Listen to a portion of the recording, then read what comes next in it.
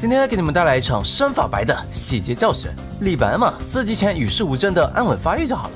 四级后嘛，前面元哥单刷了一次白起，肯定想要继续压制。既然他也四级了，那我们先等等，等他再往大招。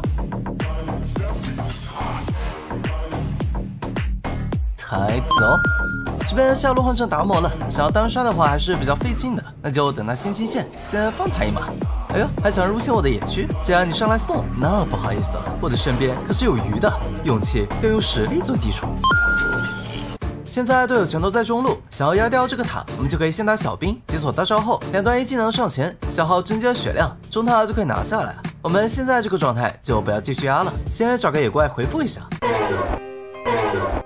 我这一走就，唉，算了。对面肯定是想要推线压塔，一波团战结束，他们肯定有人状态不好，杀一个止损。有我在，中塔是不会掉的。用防御塔的数量来看，我们稍微有点小优势，不过已经是后期了。对面高地全在，想要打回来也就是一波的事儿。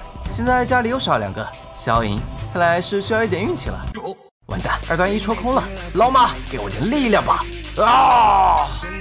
就这，就这，开始反打。好的，守卫交闪了。不急，吃口药试探一下。